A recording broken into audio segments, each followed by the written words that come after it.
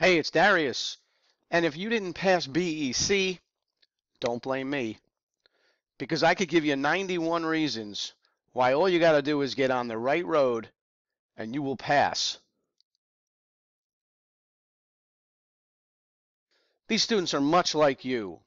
They started out on Becker Boulevard or on Wiley Way or on Roger Road and they didn't make it.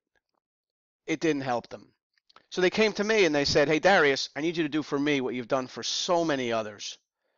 And all I did was put them on I 75, taught them what they needed to know, either live one on one tutoring or they took my I 75 CPA review self study course. They passed the exam and then they came back and left me beautiful recommendations like this so that you would know that all you got to do is get on the right road and you'll pass. Here's the deal if we're first connections on LinkedIn, you could read these on my LinkedIn profile and then go hit some of these people up. Say, hey, what's with Darius? Is he really the kingmaker? Did you really watch his I 75 videos and then pass the exam? Look, if you didn't pass BEC, you know what that tells me? It tells me that you didn't know the difference, the difference between product costs and period costs. I'm serious. What if you had to write right now in the written communication the difference between product costs and period costs? Could you write it enough to get maximum points? Well, that's one thing you're going to have to know the difference between. In order to pass BEC, you're going to have to tell them what costs go on the balance sheet and what costs are income statement expensed right away. If you didn't pass BEC, but maybe you knew the difference between product costs and period costs, you probably didn't know the difference between absorption costing and direct costing. And you're like, yep, that's me.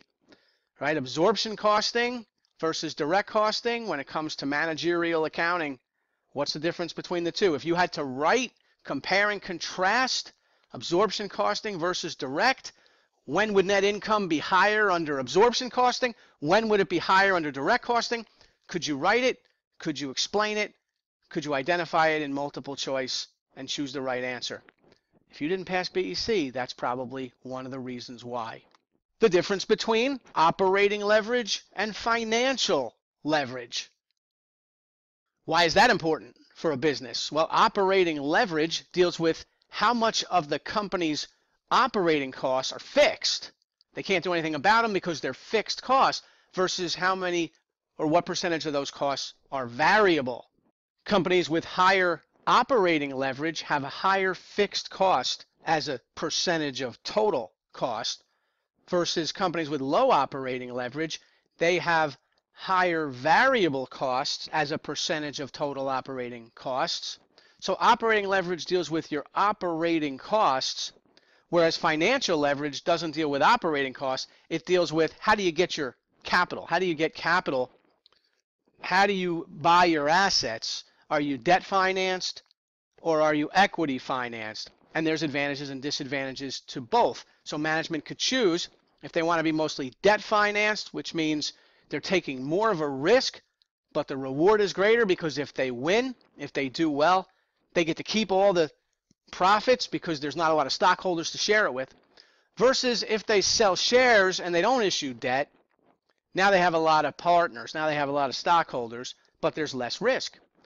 So financial leverage versus operating leverage, you've got to be able to know the difference between the two and be able to explain what's the advantage of having high financial leverage, what's the disadvantage of high financial leverage, what about high operating leverage, what's the advantage, what's the disadvantage of high operating leverage. The good news is that the I-75 CPA review course, our BEC course, spends a good amount of time explaining in dream detail the difference between these two very important concepts product cost versus period cost, absorption costing versus direct, operating leverage versus financial leverage. You've got to know the difference. And how do we do it? How do we explain it? We do it with a lot of good, well placed multiple choice questions, just as the topics are delivered. If you didn't pass BEC, you didn't know the difference between a price variance and an efficiency variance. Here's the deal. Variance analysis you know is going to be on BEC. So you've got to know your price variances versus efficiency variances. For example, direct materials, there'll be a price variance, there'll also be an efficiency variance. And if you saved money buying cheaper material, well, your price variance will be favorable. But that might lead to an unfavorable efficiency variance for materials because since you bought the cheap crap, there might be a lot of breakage and you might have to start over with a lot of the production because of inefficiency with regard to the use. So you've got to know how to calculate price variances versus efficiency variances for materials, for labor, and oh yeah, for overhead as well. So if you didn't pass BEC, then you don't know the difference.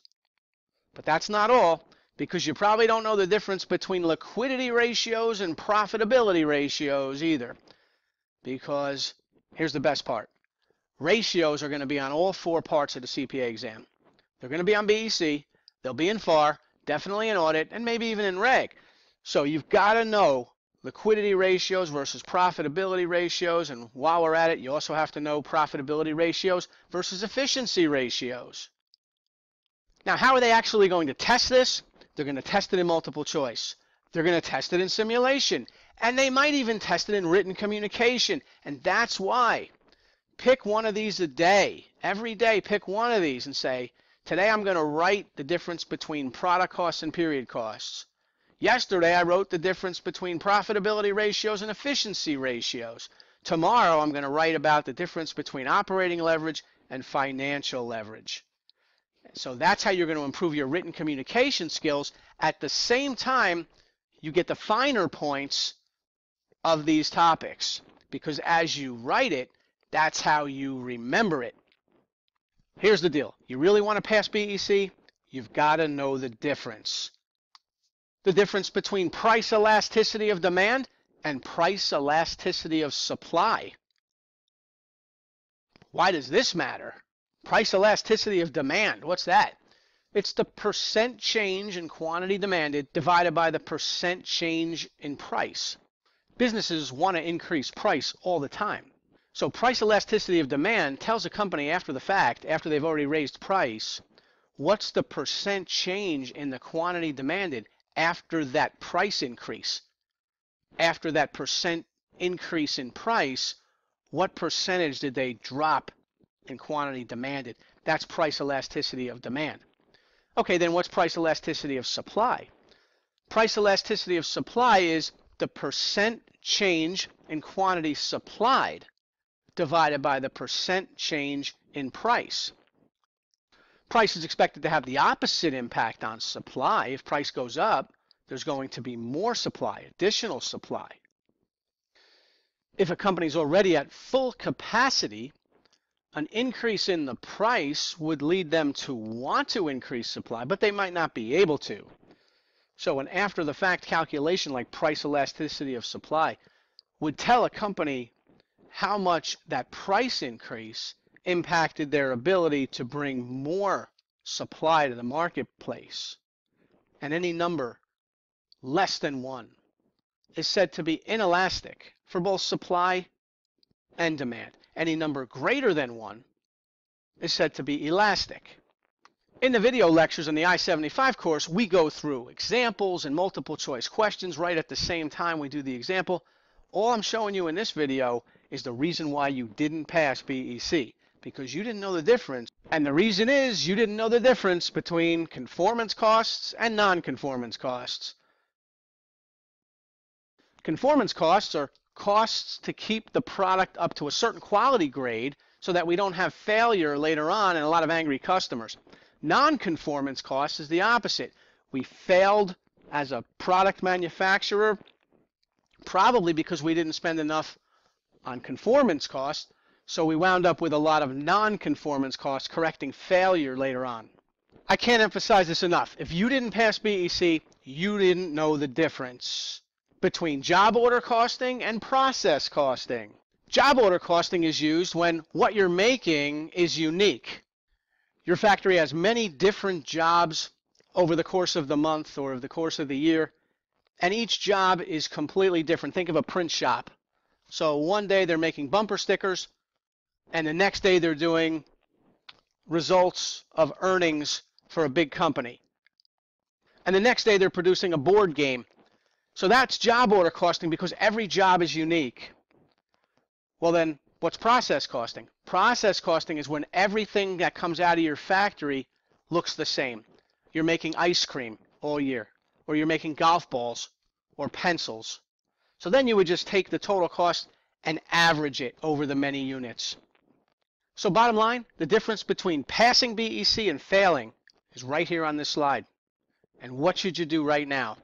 Well, pick one of these. See if you can write, compare and contrast the difference between price variances and efficiency variances, between conformance costs and non-conformance costs, and then pick a different one and write about it tomorrow. If you want to know whether a CPA review course can help you or not, go to the recommendations. See who's got what to say and hit some of those people up. They're all right here on LinkedIn. This list goes on and on because people come to me just like you every day and they say, Hey, Darius, I need you to do for me what you've done for so many, for all those people in your Hall of Fame. I want to be in your Hall of Fame. Help me. And I say, All you got to do is get on I 75.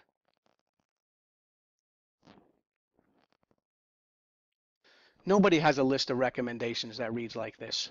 Not Becker, not Wiley, not Ninja, not Gleim, none of them. Not Roger. Not even the New York Yankees have a Hall of Fame that look like this. It just goes on and on. It's endless. I'll save a spot for you in my LinkedIn Hall of Fame.